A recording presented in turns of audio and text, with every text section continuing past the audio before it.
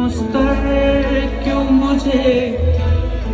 देखता रहता है जमा बीच में हिला रही है डाला रही है डाला रही है